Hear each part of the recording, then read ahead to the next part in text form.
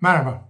Hepinize saygılar sunar, güzel günler dilerim. Şu sıcak yaz gününde sizi yine siyasetle meşgul edeceğim. Nereden çıktı mecliste kapandı diyeceksiniz ama siyaset sadece meclisten ibaret değil ve zaten hem iktidar hem muhalefet cephesinde bir takım gelişmeler var. İşte dediğim gibi bu haftayı bitirip önümüzdeki haftaya ya da artık içinde olduğumuz haftaya başlarken şöyle bir hem iktidar hem muhalefet açısından bir tabloyu çizeyim dedim. Çünkü hakikaten gelişmeler var. İktidar cephesindeki gelişmeler tamamen neredeyse ekonomi odaklı, para bulmaya e, odaklı. İşte Birleşik Arap Emirlikleri'nden gelecek para o 51 milyar dolara yakın e, nasıl gelecek? Nereye gelecek? Bunu bilmiyoruz. Hala hep soruyoruz. Hani kim açıklayacak bunu diye Birleşik Arap Emirlikleri açıklayacak deniyor. Bir kulis bilgisi var işte daha çok enerji yatırımları, e, yenilenebilir enerji falan olacak diye. E, ama bekleniyor. Bekleniyor. Merkez Bankası'ndaki değişiklikler, Merkez Bankası'nda nispeten ehil insanların ya da ehil insanların atanması nispeten bu diğer e, devlet dairelerine de yansıyacak mı? E, ümidini yarattığı için işte borsa filan yükseldi ama e, döviz kuru olduğu yerde sayıyor. E, iktidar cephesinde bunlar oluyor. İktidar cephesinde bir takım hani değişiyormuş, değişiklik girişimi gibi girişimler var. Muhalefet cephesinde ne diyelim kargaşa sürüyor mu diyelim yoksa başka bir şey mi diyelim? Muhalefet cephesinde arkadaşlar 5 bilinmeyenli bir denklem ortaya çıktı. Bu 5 bilinmeyenli denklemin tabi ana üssü diyelim hani sarsıntının ana üssü Cumhuriyet Halk Partisi.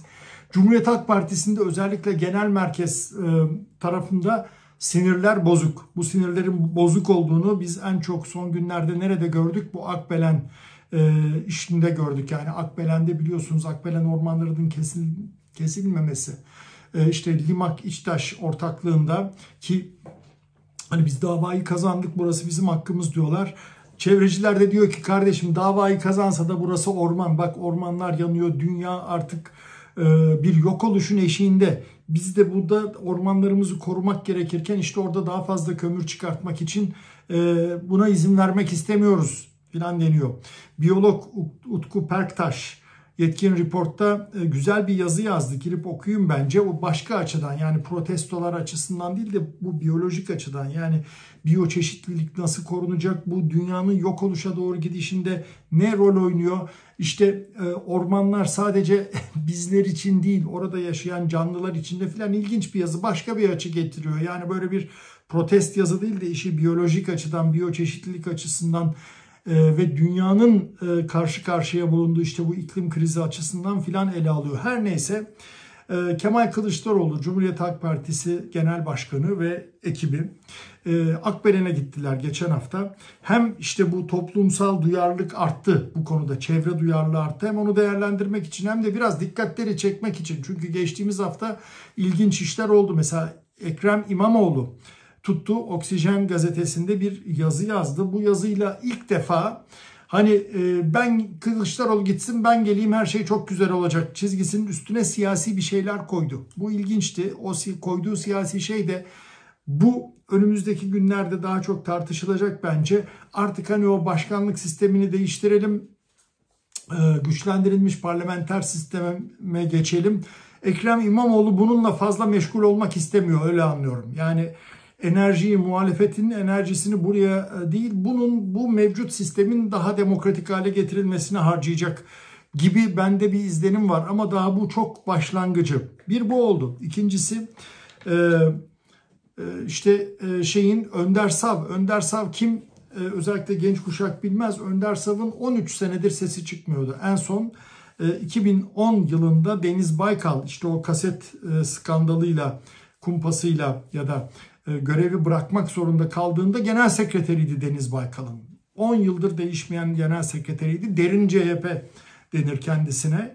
E, o konuşmaya başladı. Dedi ki işte zamanında Deniz Bey de gitmek istememişti. Ben Cumhuriyet Halk Partisi'nin selameti için e, işte gitmesi gerektiğini söyledim. Kemal Kılıçdaroğlu'nu da ben ikna ettim başkan olmasına ve seçtirmesini de ben sağladım. Kurultayda seçilmesini de özür dilerim ben sağladım diye verdi. Bu tabi Kılıçdaroğlu nasıl genel başkan olduğu üzerindeki pek çok komplo teorisini bunların bir kısmı Adalet Kalkınma Partisi e, tarafından hatta Cumhurbaşkanı Tayyip Erdoğan tarafından defalarca kaset kumpasıyla iş başına geldi diye e, dile getirilmişti. Ya onları biraz boşa çıkardı tabii ki.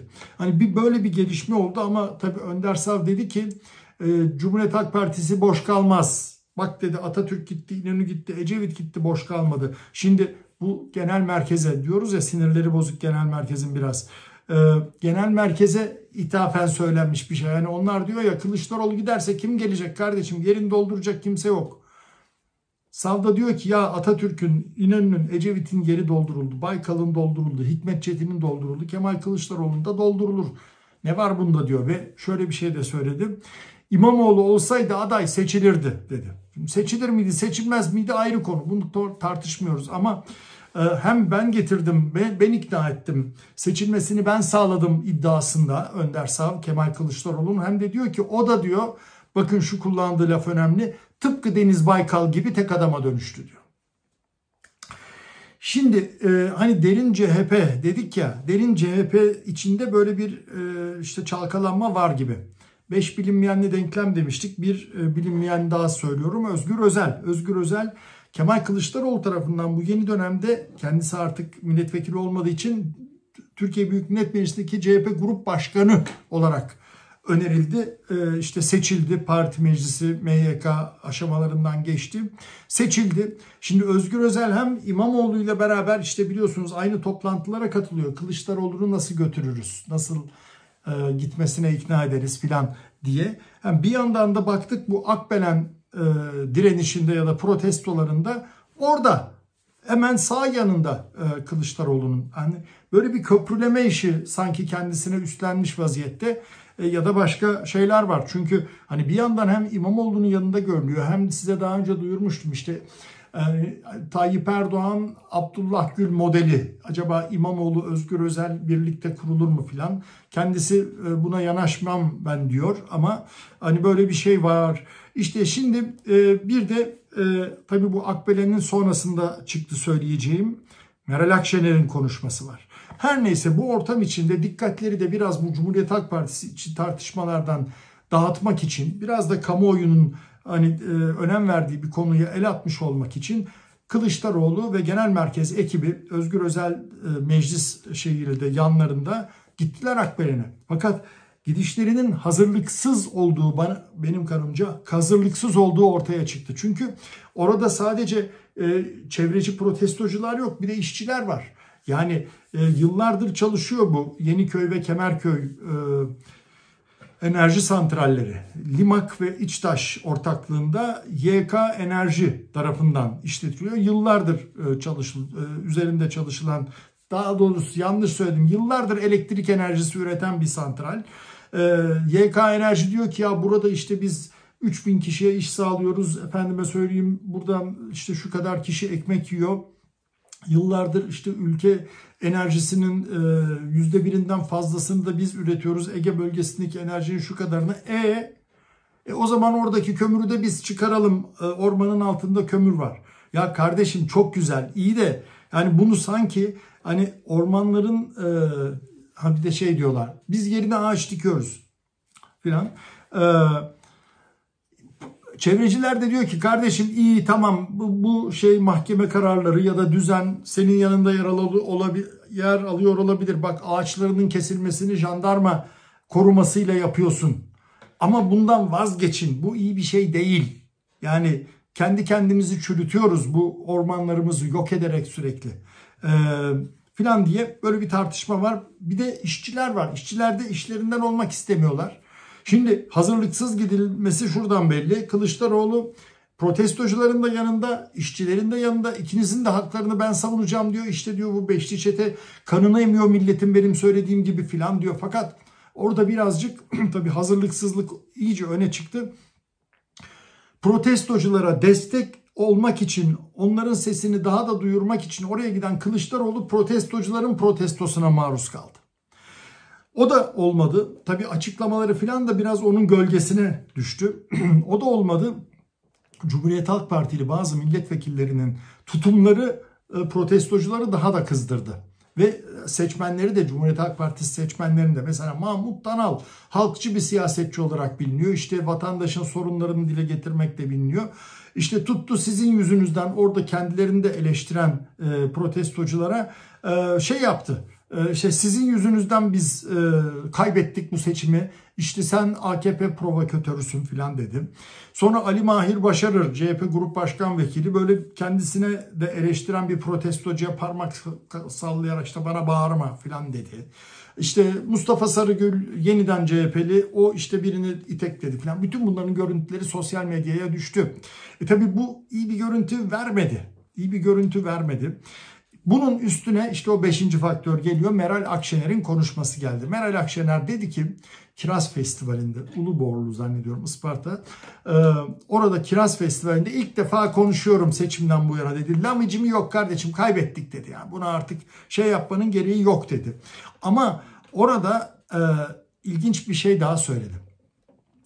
Benim siyasi anlayışım dedi Akşener millet ne derse baş üstüne demektir. Eğer milletin tercihinden bir siyasetçi şikayet edip onu sorguluyorsa derhal emekli olup evine gitmelidir. İsmini vermedi ama algılama, siyaset dünyasındaki algılama bununla Kemal Kılıçdaroğlu'nu e, kastettiği oldu. Arkadaşlar siyaset yaşanan gerçeklikten çok hep söylüyoruz. Algılanan gerçeklik üzerine kuruluyor. Algılanan gerçeklikte Akşener'in burayla bu sözle Kemal Kılıçdaroğlu'na arkadaş sen bu son, sonucu hazmedemiyorsan hala seçmeni bana niye oy vermediler diye suçluyorsan o zaman emekli ol git. Yani emekli ol git demiyor. Bunu hazmedemiyorsan emekli ol git demek istiyor. Şimdi denklem içinde denklem diyeceksiniz. Hani türevini alıyoruz bir az çok matematik e, şeyiyle yaklaşımıyla türev alıyoruz. Yani şey e, derin CHP'nin sesi Önder Sav CHP genel merkezine arkadaş Kılıçdaroğlu ile olmuyor. Bakın onu hani tavsiye eden bendim ama onunla olmuyor diyor. Meral Akşener de diyor ki şeye e, Cumhuriyet Halk Partisi'ne derin Cumhuriyet Halk Partisi'ne arkadaş Kılıçdaroğlu ile olmuyor diyor. Şimdi bu şeyin sözleri Meral Akşener'in sözleri hani CHP ile İyi Parti arasındaki köprülerin kopuşu olarak nitelendirildi. Ben ona tam katılmıyorum. Bana kalırsa bana kalırsa Meral Akşener dediğim gibi CHP'nin içine, tabanına hitap ediyor. Diyor ki arkadaş Kılıçdaroğlu giderse hani yerine tercihan İmamoğlu mu gelir? Efendim Özgür Özel mi başka birisi mi e, kurultaydan çıkar? Ki böyle çetrefil durumlarda genellikle şu anda pek öne çıkmayan bir isim pat diye öne çıkıverir. Böyle olduğu da görülmüştür. Ondan sonra ama onlarla çalışabiliriz. Bu koşullar altında ittifak yapmıyoruz diyor. Kürşat Zorlu e, İyi Parti sözcüsü de daha sonra zaten e, gündemimizde ittifak yok dedi. Ama burada bu Meral Akşener'in sözlerinden ben sanki Kılıçdaroğlu bu seçim sonucunu bir hazmetsin artık orayı burayı özellikle seçmeni suçlamayı bıraksın. Ondan sonra bakarız anlamını da çıkarıyorum. Çok mu esnetiyorum bilmiyorum ama ortada olan şu bir kere Cumhuriyet Halk Partisi'nin şu yenilgiyi bir güzel hazmetmesi lazım. Sinirlerinin bozukluğu biraz oradan kaynaklanıyor. Ondan sinirlerini düzeltmeden de sinir bozukluğunu geçirmeden de yeniden kitle önüne çıkmaması lazım. Çünkü hani e, çıkmasalar daha iyi denecek duruma geldiler. Akbelen'e keşke gitmeseler daha iyi olacak e, duruma geldiler. E, kusura bakmasınlar durum bu. Yani bu burada bunu eleştirmeyeceğiz de muhalefetin biz siz sizin yüzünüzden biz seçilmedik diye seçmene suçlaması ki yani arkadaşlar bir AK Partilinin Akbelen e, protestosunda yeri yoktu. Yani oradaki insanlar muhtemelen e, çoğu CHP'ye oy vermiş insanlardı. Yani böyle bir suçlama hakikaten sinirlerin bozuk olduğunu gösteriyor. O zaman e, kendi sinirlerini düzeltsinler de öyle seçmenlerinin kitlenin karşısına çıksınlar diye görülüyor. Şimdi haftaya e, başlıyoruz. Haftaya bu koşullarda başlıyoruz. Bir yandan dediğim gibi iktidarın ekonomik krizden çıkış için ee, özellikle tabii Cumhurbaşkanı Tayyip Erdoğan'a burada e, rol düşüyor. İşte Mehmet Şimşek'in, e, Hafize Gaye Erkan'ın önünü açtığında orada bir takım değişiklikler yapıldığında ehil insanlar iş başına getirildiğinde e, piyasalarda, ekonomide olumlu tepki veriyor. Bunun sürmesi lazım. Bunun orada kalmaması lazım. Muhalefetinde dediğimiz gibi bu beş bilinmeyenle denklemi bir şekilde daha az bilinmeyenlere mi düş, düşürmesi lazım? Orada da görev tabii ki Kemal Kılıçdaroğlu'na düşüyor. Bakalım bu hafta ne tür siyasi gelişmelerle ekonomiyi etkileyecek, ne tür siyasi gelişmelerle karşı karşıya kalacağız. Yeni bir yayında yeniden karşınızda olmak ümidiyle hoşçakalın.